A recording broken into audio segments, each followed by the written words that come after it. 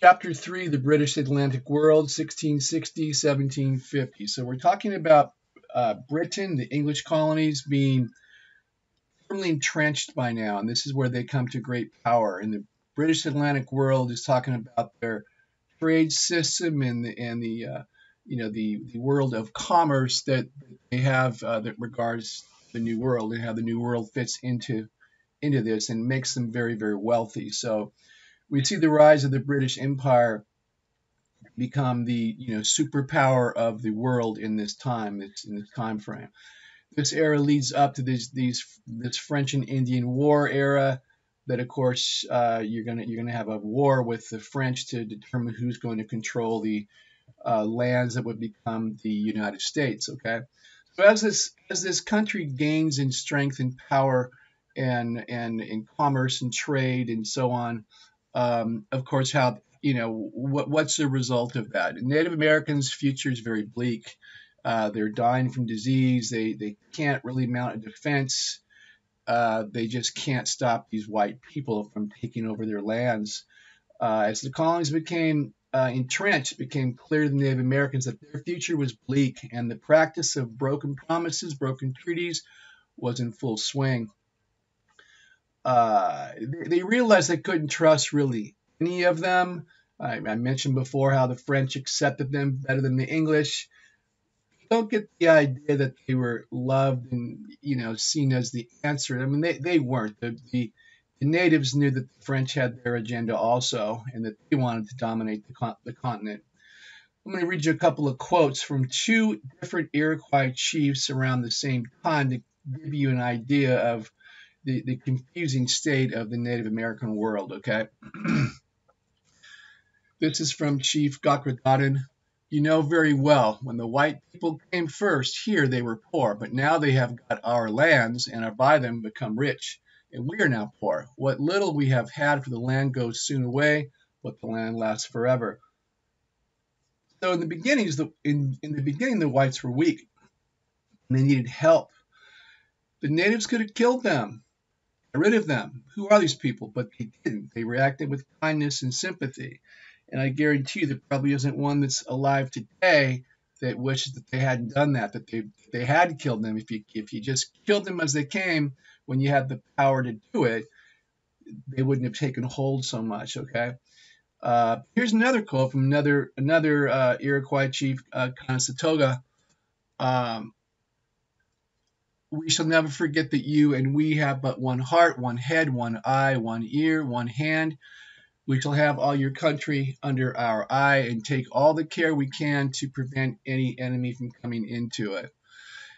Uh, it's actually pronounced kind of Satego. Okay, you have the two different kind of contradictory quotes here. One one is one is you know kind of you know uh, maligning the people and we don't like you and we were kind to you and you and you hurt us back and that wasn't nice. this person here is saying that, we are of you. We're, we're like brothers. Okay, so so two conflictive statements made at the same time by two different chiefs from the same confederation. So this these two quotes speak volumes to the struggle that went on in, in Native American minds as their world was trampled over. and how confusing and frustrating these times were for them, okay? Let's start our class today with a crash course film. Uh, please watch the film entitled The Natives and the English, Crash Course U.S. History number three and then come on back. Okay, so native alliances were very important to the colonists, uh, and the Iroquois, unlike most other tribes we know went with the French, became allied to the English. So they're, they're the exception. The Iroquois is the one tribe that went with the English. Of course, they're not just one tribe, they're a huge confederation, okay? So, you, so the, you have this era, if you're a Native American person in this era, or a tribe or a people, you are in constant state of change. You have this clash with these Europeans. It's, they're dominating you mostly because of disease. And the natives are constantly uh, forced to react to the whims of the Europeans, trying to find their place in the new order. And as we know, many had died from disease, leaving some as a vanished, vanished people, and they left no trace. Okay, with them went oral histories, so we know nothing of these people. Uh, so what do, we, do I mean by oral histories? Well, well, versus written histories. Okay, written histories, of course, you write it down. Oral histories, you pass stories on to your family and your children for them to pass down to their children. Your history, your culture is passed on through oral histories. Okay. Uh, so this system's been criticized in the past by historians and considered not a legitimate system until recently. It was thought if it wasn't written down, it wasn't real. It was just mythology, and that it wasn't accurate. Um, so it was seen as not a good system. Of course, you know people can write down whatever they want, right? They, just because it's written down doesn't mean it's true. You've got to uh, do research into whether you whether you read something or hear something to see if it's true or, or find the truth truth in it okay because the natives used oral history as a way to, to pass down their um, history they were, they were looked down on okay um, the, these people weren't sophisticated enough to to write their stories down. It's not really the case. It's just that's the way that they did it okay? Uh, but the bottom line is is because so many of these people died, we don't know that much about them and their tribes. Uh, in, in, a typical fashion, you know, the elders of the tribe would would pass the stories down to the to the young people, and they would pass it to the next generation. But now the elders are gone, and as well as many of the many of the young people who would have heard these stories and pass them down. So Gone Forever was the foundation of a strong future, complete with their history. Okay.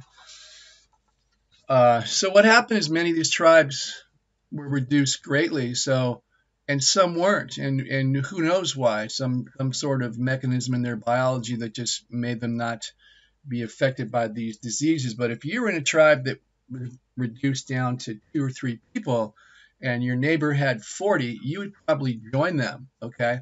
Uh, new tribes from the remnants of decimated ones. And this is called tribalization. So it's not always a good thing. Again, the Europeans tended to believe that these people were all the same, same customs, same religions. You know, we, you know, white people today still think that, that people of color are all the same, okay?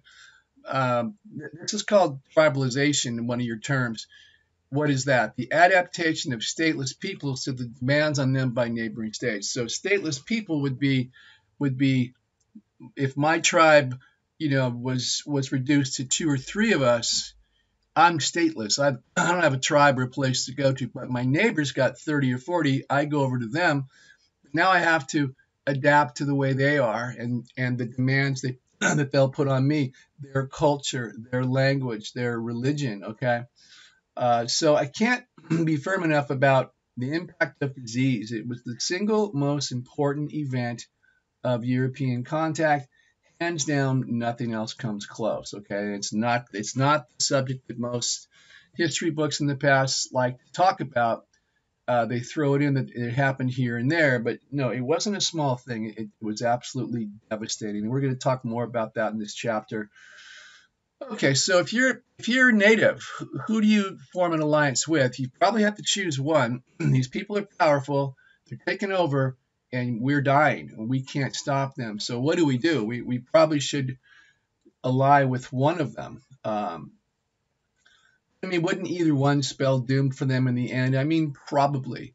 Um, some felt some felt it was best to ally with who you thought would win, get on the winning side. That way you know, if you supported them, they would be they would be uh, nicer to you. Uh, others felt it was best to ally with the people that you had the best relationship with. So as as we know, most went with uh, with the French because they were less judgmental, less harsh to the natives. They accepted the, the native ways. Okay. you have kind of a squaring off of these two groups. Uh, most of the natives, you know, uh, are in alliance with the Catholic French in, in Canada, upstate New York, versus the Protestant English in New England that would ally with the Iroquois. You set the stage for these four French and Indian wars, okay, that we're that we're heading towards. Uh, we're not going to do it in this chapter, but very soon. why was it called the French and Indian War? It's kind of an interesting way, uh, way to uh, name a war. Uh, it wasn't the French fighting the Indians, not that that didn't happen on some level, but it's called that because that's who the English fought. Okay, they fought the French, they fought the Indians. So it'd be like calling World War II the German and Japanese War. Okay, okay, as, and as we already have said before, uh, these four wars will span 75 years. But the truth is, there were raids and, and you know conflicts going on always. Uh, as you see in these in this as you'll find out in these 75 years, these four wars are parts of that. But in the 75 year period, the, the raids never really stop. Okay, and even though war might be declared or not, the, the raids don't stop. And these are raids from the uh, Canadian French Indians coming south into the English frontiers and and raiding people and kidnapping and killing and burning and pretty awful. But don't get the idea that it just happened that way because the English did the same thing back. So both sides raided each other and committed atrocities. Okay. One of the more famous ones is the Deerfield raid, raid on Deerfield 1704. Okay. Uh, this is where the native uh, natives with their French allies come into Deerfield, Massachusetts, killed dozens of English uh, settlers, colonists, and took over 100 captives. 100 captives taken. One of the more shocking raids, and you know, kind of starts a chain reaction. Of course, it had been going on for a while. So where are these wars taking place? And we, we, have seen the big map of, of how large New France was, how small uh, New England was, or I should say the 13 colonies. This is a present day map of New York to just kind of give you a better familiarity to it. So if you look at the map of New York, at the bottom, of course, is New York City, the largest city in the country today. Okay, not necessarily them. But down here is New York, this great harbor, okay, access to the Atlantic. And then you've got the Hudson River that goes north all the way up into the upstate New York and Vermont up towards Lake Champlain, Lake George. Okay. So right here is Albany. And I've mentioned that before. Albany at that time, uh, in, in our era, the, the early 18th century, late 17th century, this is the this is the farthest north that English settlement was. Okay, Albany was was kind of like the, the, the fringe of the frontier. Okay, to the left, all the way across, all the way over to the lakes, Lake Erie, Lake Ontario, as we've seen, are the Iroquois. So again, another reason why the Iroquois and the English became partners is because they were neighbors. You've got you've got the English settlement up here and the Iroquois here. Okay, so any anything above Albany, all the way up into Canada, is I'm sorry, after a buffer zone called the frontier line right here, uh, kind of a no man's land, but a buffer between the two, you, you have the French and their Indian allies. So most of these four wars were, were based around these raids coming both ways, whether they were French raiding the, the frontier or the English raiding the frontier. Okay, both sides did it. Okay, not not to suggest there wasn't any battles anywhere else, and some of these became world wars, but for our purpose and what was important in the colonies, the biggest problem was frontier raids back and forth that were, course, not making it very safe for really anybody. Okay. Okay. Um, so in retaliation to Deerfield, uh, the English colonists attacked French posts, Port Royal, Nova Scotia. So, you know, history is full of eye for an eye retaliations sometimes history can feel like it's an endless stream stream of, of trivial battles. It's like two two boys in the schoolyard.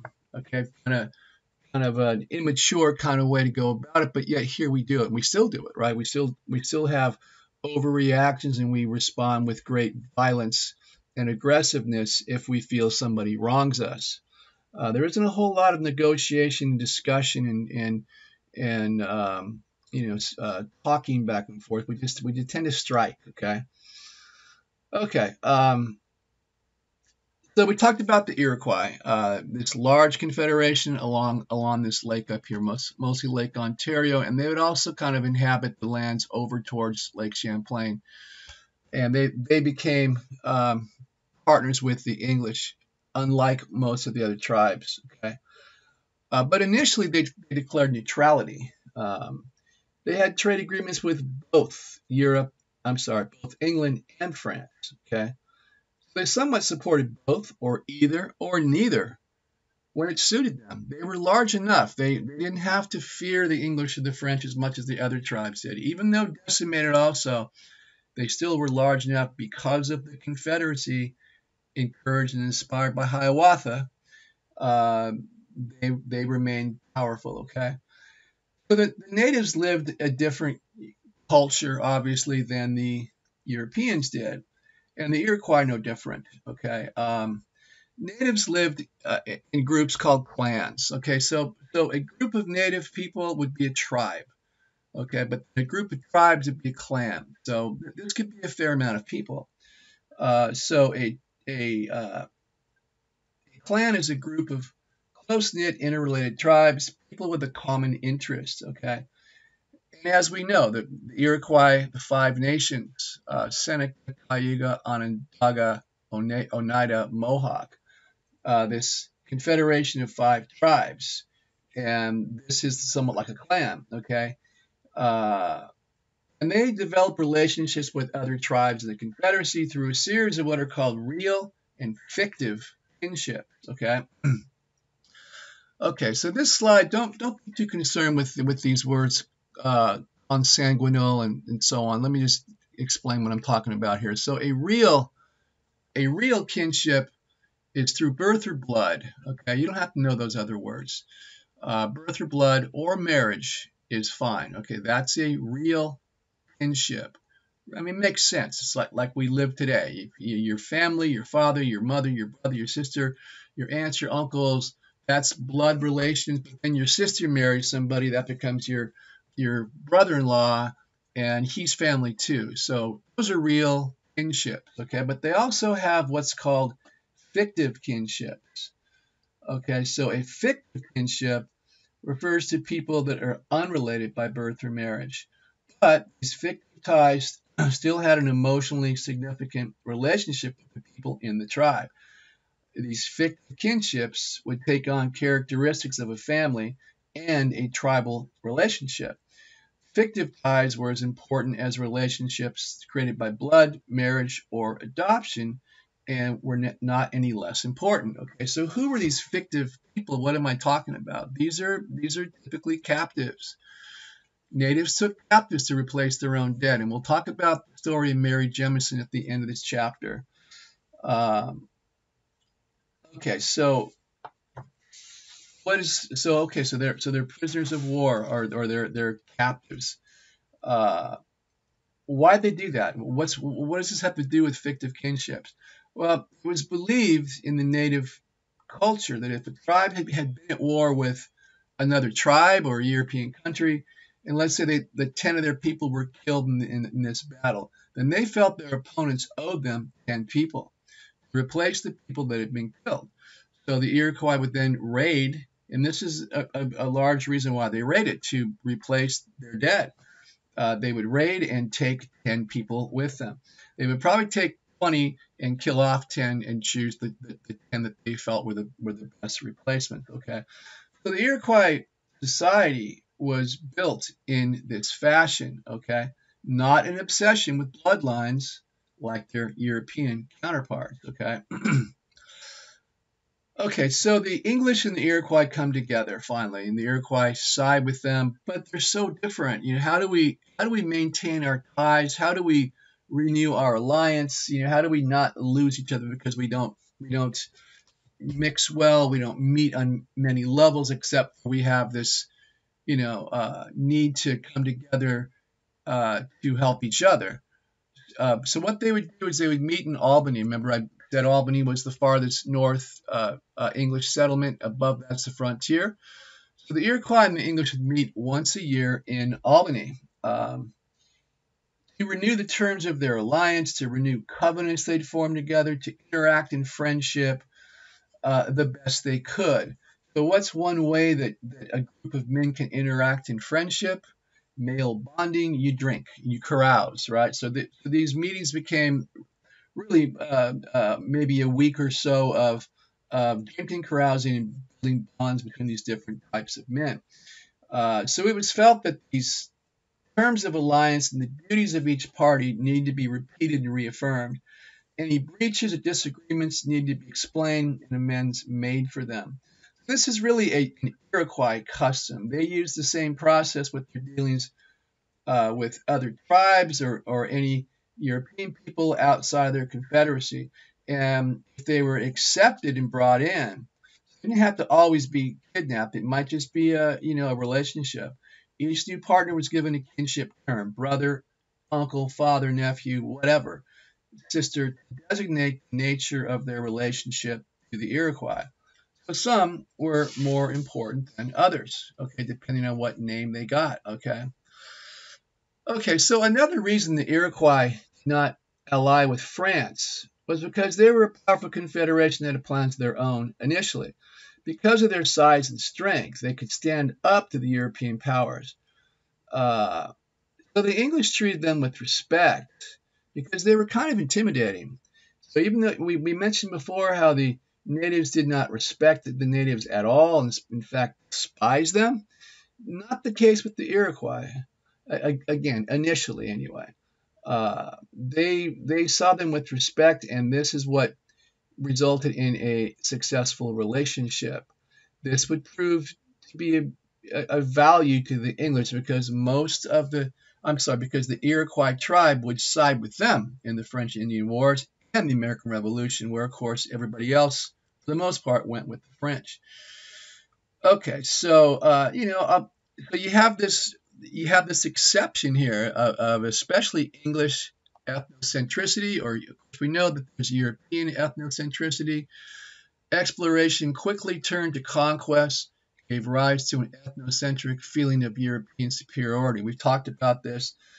Uh, you know, this, these notions that the, that the Europeans had had the had the right to native lands, you know, uh, ordained by God. Uh, God told them that the natives should be your subjects uh, so ethnocentric. But yet here you have a situation where you don't have that. You have respect. this is one of the only uh, examples where the English have a respect for native people. Okay. I mentioned that the Iroquois were related to New York, and this is a this is a, a, a map of where they all were. And for the most part, you see that that is the map of the current day state of New York. So the state of New York's boundaries are are related to uh, native uh, tribes boundaries of, in that time. Okay. Uh, so, so you developed a good relationship with the English because you're neighbors. Uh, and you would, so the natives would seek guns, ammunition, military support for their wars against the French and their native allies. If, if these issues led to difficulties, the Iroquois used their English allies in New York to help resolve matters. And the English, in turn, used their connection with the Iroquois to promote trade and their imperial ambitions at the expense of other colonies. Okay. Okay, so before we get too far away from this subject, um, we've talked about disease a lot, and we need to because it's the most important thing, as I've said. Um, I want to just uh, make it clear about you know how this all worked and fill in some gaps that maybe you, you, you have a question about, okay? So let's do a supplemental lecture number four right here, the impact of disease. So what I'm going to do here is talk to you about not just that they came in disease killed people, but why did they have these diseases? Where did these diseases come from? Why did the Europeans have all these diseases that they brought? What's the history of that? Okay. So before we start, okay, let's go ahead and watch the, the next Crash Course film. It's called Disease Crash Course World History 203. Please watch that, and then we'll come back and start this lecture, okay? okay, uh, supplemental lesson number four, the impact of disease. Okay, so let's do our sketch outline. Number one, background development. Let's say letter A, uh, it would be disease related to animals. Letter B would be the Dark Ages. Okay. Number two is Black Death. Letter A, 40 million die. Letter B, But they gain immunities. Okay. Number three is the New World, a small force of uh, Europeans. Letter B, disease, a silent weapon. Okay. One more time on our on our sketch outline. Number one, background development. Letter A, disease related to animals. Letter B, dark ages. number two, Black Death. Letter A, 40 million die. Uh, number uh, letter B, uh, immunities are gained. Uh, number three, New World. Letter A, small force. Letter B, disease, a silent weapon. Okay, the relevance of the lecture and some of this is review. And we're, you know, we're going a different direction with disease, but some of it will be review. Okay, uh, not exactly a great conquest. It was pure luck, and they had no idea what happened. Most historians today would agree a toe-to-toe battle with the Aztecs. We're talking about the Spanish and Aztecs here. A toe-to-toe battle with the Aztecs at full strength would have resulted in the defeat of the Europeans this would have dramatically altered history. And it would have altered history everywhere because they died everywhere the Europeans came. If they didn't, they always had the numbers, the land, the defense, the fortifications. They would have probably defeated all of them. But because disease came with it, they, they couldn't mount a defense, okay? Okay, let's get started. So uh, looking at this image here, you see um, peasants lived in squalor with their animals. So you see that these in, in these particular cases, these animals are inside these people's homes. So is it is it possible to link this idea of animals living in your house or near your house with the conquest of the Americas? So that's kind of a reach, right? How could how could animals living in your house in the 12th century have anything to do with the with the Europeans and the conquistadors in the 1500s conquering the Americas. But as you'll see, the truth is they are uniquely related. Okay, so how's that possible? Well, you're looking at peasants here in Europe. One of the reasons people came to America was land. You didn't have that much land in Europe. So the people, the peasants, the serfs, if they were lucky enough to have a shack with a little piece of land next to it, then they would put their animals outside. But not all did. You didn't have that much land you didn't have any space outside to put your animals. So they actually lived inside the house with you. Okay.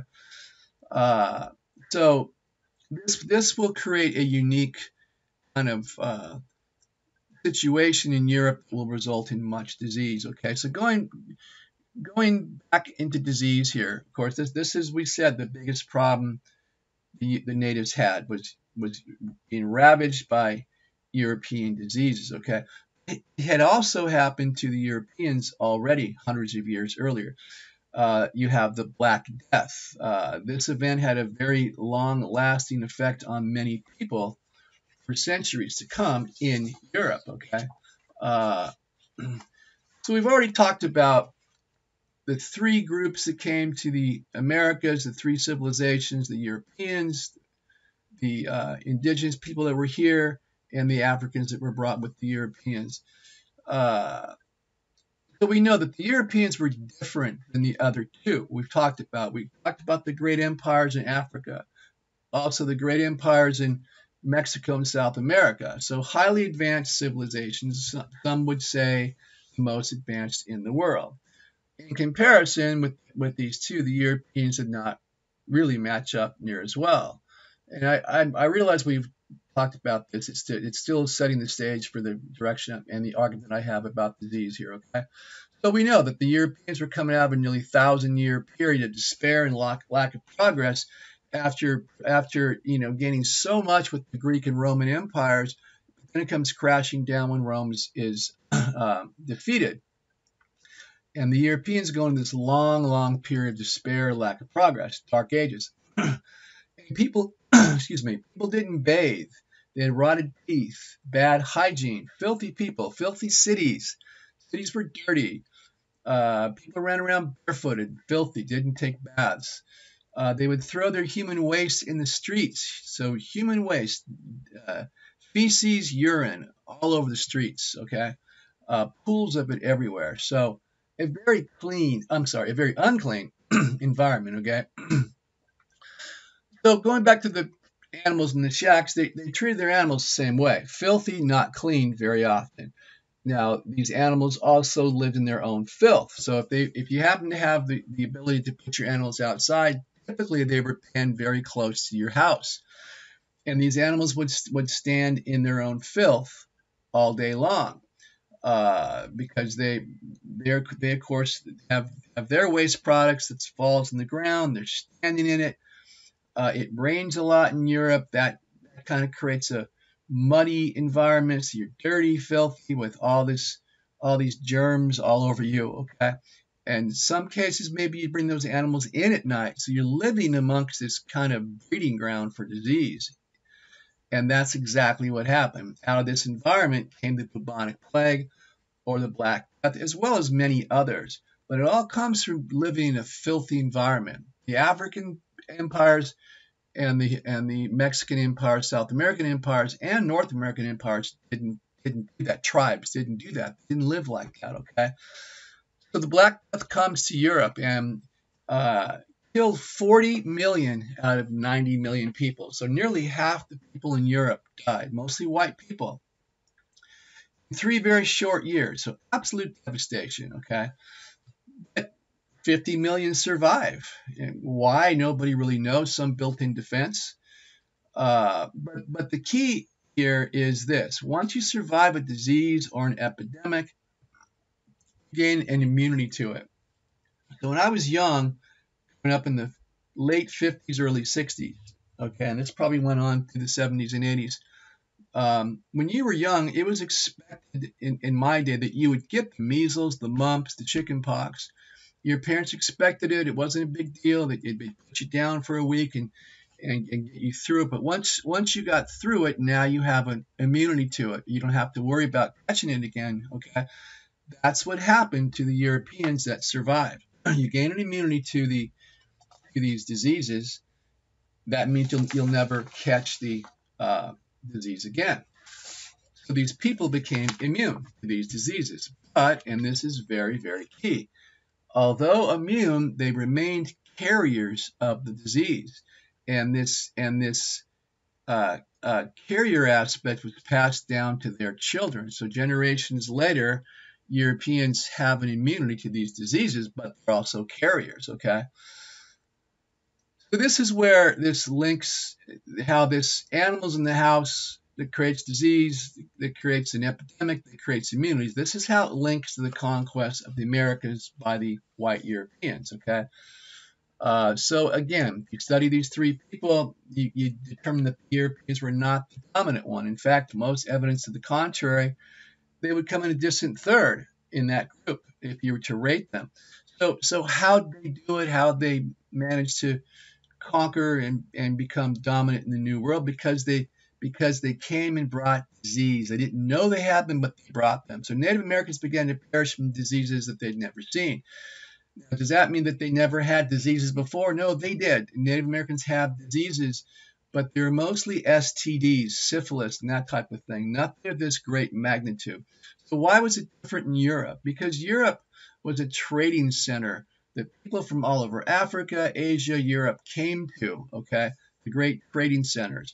You remember the West African traders crossing the Trans-Sahara, uh, the Trans-Saharan trade to get to European markets. People come from all over the the Europe, Africa, Asia landmass to trade. So besides bringing all different goods, they bring all different germs to, to Europe. So Europe had that was part of the problem. Also, of course, the filthy aspect was you know a breeding ground for it to get worse.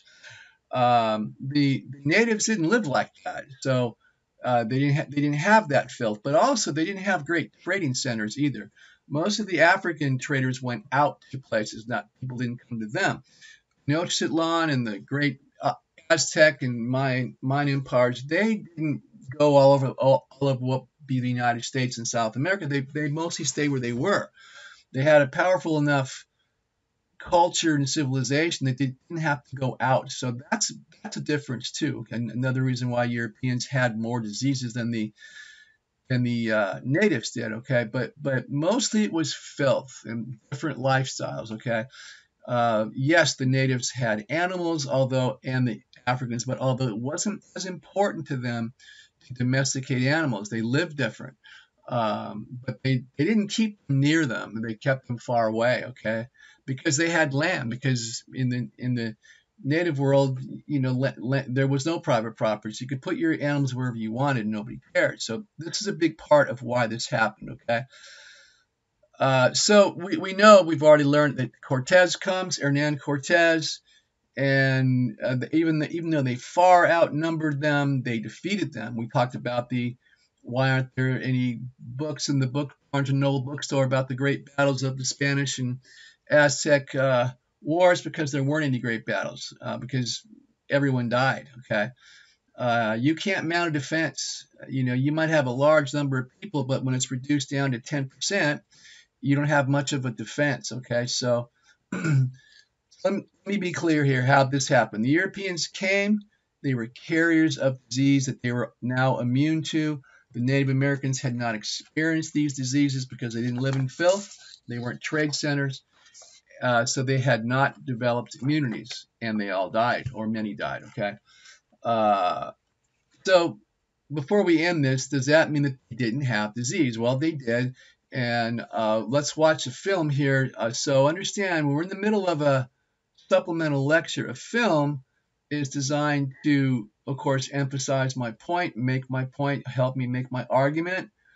Uh, so anything in a film that you want to use in your essay, that's perfectly fine, okay? Let's, before we end this, watch this film called Why Native Americans Didn't Wipe Out Europeans with Diseases. See what the difference is, okay? and then come on back. Okay, so like I said before, Europe was a trade center, and Tenochtitlan and other places were not. Okay. Okay, so this is this is how it happened. This this is where the diseases came from. We already we learned before that they brought them. Now we know where they came from. Okay. The relevance of the lecture that this this will be the end of this supplemental lecture. Uh, the relevance is not exactly a great conquest. It was pure luck, and they had no idea what happened.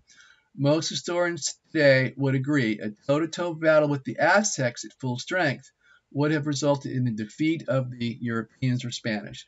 This would have dramatically altered history. If disease, that is the end of that lecture, okay?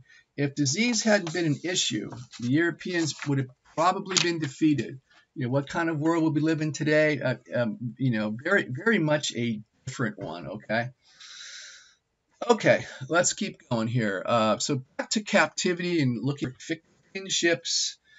Uh, this idea that you raid to not only disrupt but also to replace people that have been killed by your opponent. okay, so I've mentioned Mary Jemison a couple times. Uh, she she was a 12 year old girl became captive in 1755 in the midst of the Fourth French and Indian War. So captured by Indians along the Pennsylvania border. I'm sorry, not border, frontier during this French Indian War. Uh, uh, living on the frontier and, and, a raiding party consisting of six Shawnee Indians and four Frenchmen captured Mary, her family, and a young boy from another family. So understand what I just said there. Um, uh, six Shawnee Indians, four Frenchmen. So four white men. So this wasn't all just, you know, savage Indians raiding because they had nothing better to do. The, the white Frenchmen did it also, and the English would do it the other way. So the white men were also raiding and committing atrocities also, okay? okay, so the Shawnee raiding party that captured Mary and her family uh, and this young other young boy from another family, they are taking them to Fort Duquesne, which is where present-day Pittsburgh is at, okay? Uh, Fort Duquesne we'll talk more about when we start our discussion about the French and Indian Wars. Uh, so understand, na- native tribes, raiding parties, they capture white people and they take them to a white fort first to, to figure out what to do with them. So that my point is the, the Frenchmen, white people, were in complete you know agreement with this practice and encouraged uh, kidnapping and captivity. Okay. So, uh, excuse me. On the way to Fort Duquesne, uh, as I mentioned before, many times the tribes would kill off people that they didn't see as fit to be replacements. So Mary had to witness the killing of her mother, father, and siblings. So her entire family was killed before her eyes, and they were ritually scalped. Okay, so this is not a pretty picture for a 12 year old girl to experience. Okay. Uh, Somehow Mary and the, and the young boy were spared, likely because they were considered of suitable age for adoption. Another reason why you keep a young person over an older person is because they you could you could form them. They were they were more impressionable. A 40 year old man would probably fight you, where where a 12 year old girl is going to acquiesce, okay, or a boy. so once they reached the fort, um, Mary was given to two Seneca, the Seneca tribe, you know, a tribe of the Iroquois. Uh, so again, they're they're looking to replace siblings or lost spouses or whoever that you know died in battles. Uh, and she was adopted by the Senecas. A, a, the Senecas took her into their tribe, and she ended up growing up there throughout her teen years. And ultimately, she married a Seneca man and raised a family. And this is all in the decades before and after the American Revolution. So as as the years went by, she uh, had the opportunity to be released, but she chose to stay. Okay, so many captives, especially women, once adopted and integrated into an Indian community, refused the op- opportunity to return home, finding life in Indian society much more rewarding. Okay, let's watch our last film for part one anyway. Um, and this is entitled Part 404 Captivity Na- Narratives White Women Who Prefer Native Life. Please watch that. This is a, this is a lecture from a, a professor. A, uh, that's, that's very interesting. Go ahead and watch that and come on back. okay, as she got older, her husband and her Seneca husband and Mary uh, moved to New York and around the area of the Genesee River. And as the years went by, of course, here's a here's an image of her, uh, uh, you know, much later in life. She she remained tied to the native ways, but she lived near a doctor in Western New York who who wrote a book about her called The White Woman of the Genesee by James Seaver. So James Seaver writes writes this story about her life. Uh, and she became known as the White Woman of the Genesee. Okay, so this book was very popular and sold over 100,000 copies uh, in 1824, which is a, a, a huge amount of copies to sell in that era. Okay. So the, so the captivity narratives have a different spin that we don't always hear about. Yes, they were brutal. Yes, Mary saw her family killed in front of her. Atrocities, uh, you know, uh, ritual killings, scalpings, uh, mutilations, uh, awful.